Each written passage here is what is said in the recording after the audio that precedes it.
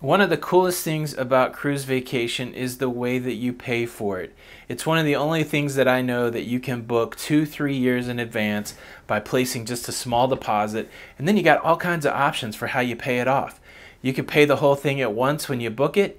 You could pay it month by month. You could pay it week by week. You could even pay the thing day by day or not pay it at all. Just wait till the very end, to the very last moment, and make a big lump payment. There's a lot of flexibility in the way that you can pay for your cruise. But what I'm here to suggest today is that you shouldn't pay your cruise off early. We'll talk about it right after this.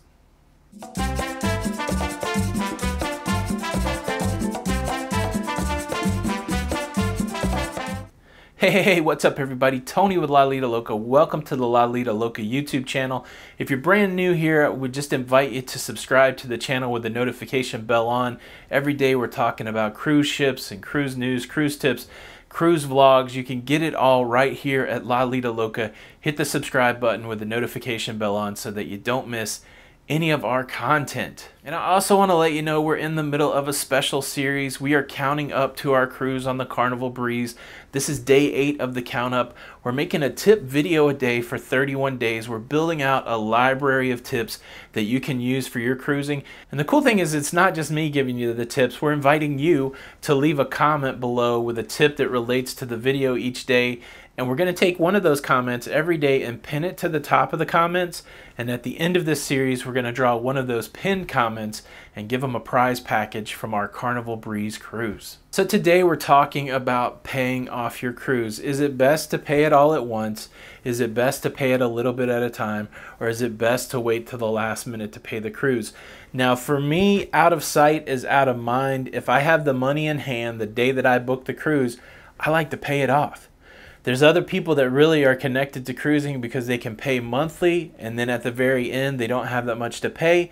And then there are some folks that wait till the very end, the very last day, the final cruise payment day, and pay it then. Whichever way you do it is probably personality driven, but I just want to give you this information, just a little food for thought, and maybe it'll change the way that you pay off your cruise. So the conversation really revolves around what your relationship is with your own actual money. Here's the scenario. You book a cruise today that doesn't happen for two years. You pay the thing off the day that you book it. Six months from now, the cruise goes down 5%. You call the cruise line and you say, hey, look, the price is cheaper than when I booked my cruise. Can I get some of that money back? They're like, yes, you can. Oh, you've already paid off your entire cruise? We're going to give you that money as onboard credit so that you can use it on the ship when you go cruising. Thank you. I got that money back. Six months from then, the price goes down again, another 5%. You call the cruise line, it's even cheaper now. Can I get that money? Yes, you can. We're going to give you that money in onboard credit so that you can use it when you're on the ship. Say that happens four times. That may be out of line four times in two years, but we've seen it happen like that. A cruise go down week after week, month after month, and people are able to call and reclaim some of the money that they spent. Now, again, in this scenario, if the cruise is paid completely up front, the only thing the cruise line can do for you is give you onboard credit. And listen, onboard credit is very cool. Onboard credit is like preloading your ship account when you go on your cruise. It's like showing up and there's already money there that you can spend. It's like free money. It's almost like monopoly money. You don't have that same emotional connection. I've got a couple hundred dollars of onboard credit, so sure, why not buy a few extra pictures? It's not like it's coming out of my pocket. This is the thing I want to lay out for you when you're thinking about onboard credit. Many times when you book a cruise and you get a special, they're going to give you onboard credit. That's money you didn't have to come up with. That kind of onboard credit is really found money. In the scenario where you're getting onboard credit because you've already paid off the cruise, that's not like found money. That's money that you actually had, that you actually paid to the cruise line, that they're just now giving to you in a different way. That they're just now making you use it on your cruise vacation. Now, I'm not saying that's bad. I think most of the time you might spend more than what you have for onboard credit, anyways. But think about that. If all of a sudden your cruise price went down $100 over a two year period, was there something that you could have done with $100 during that two year period that would have made more sense than just getting it as onboard credit? Like I said in the beginning, I like to pay my cruises up front, but this thought process has been giving me pause. If I have enough money to pay my cruise up front, would I be better off putting it in a savings account and making a little interest and then making my final payment? That requires a lot of discipline. I don't know if I am that disciplined, but I do like the idea that I have complete control of my money. All right, here's my complicated, need some discipline proposition. I'm going to try to the best of my ability to pay my cruise off except for 20%.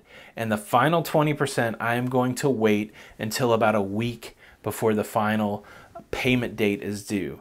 What that allows me to do is it gives me more control of my money. I would be surprised if my cruise fare went down more than 20% over the life of the booking. And so by paying everything but 20%, I leave myself the room to realize that money back to me if the price of the cruise goes down without it converting into onboard credit. I hope that makes sense. It does sound kind of complicated. It does seem like it's going to require a level of discipline, but I like the idea that my actual money does not get converted into onboard credit. Again, I love onboard credit, but the onboard credit I love is the credit that's given to me free. If I use the credit card that gains points and I'm paying it off, then all of a sudden I get onboard credit. That's found money. If I'm booking with a travel agent that has some sort of access to onboard credit and I can get onboard credit, I like that. That's found money. If I'm booking with the cruise line and they're running a special that gives me onboard credit where it doesn't cost me any extra money, I like that onboard credit. That's like found money. So the only distinction I'm drawing here is when your actual money becomes onboard credit. What do you think? The question for the comments is this When is the best time to pay off your cruise? Are you disciplined enough to wait till the last minute and do more with your money, maybe make interest in a savings account? Or are you like me and it's best just to pay it off so you got it done? Leave a comment below. Would love to hear it. Thanks for stopping by. I, I hope this tip was at least thought provoking. I would love to hear your comments. Follow us on all of our social media. Don't forget to subscribe. Again, this is Tony with La Lido Loca. And until the next time, we'll see you on the Lido. Bye.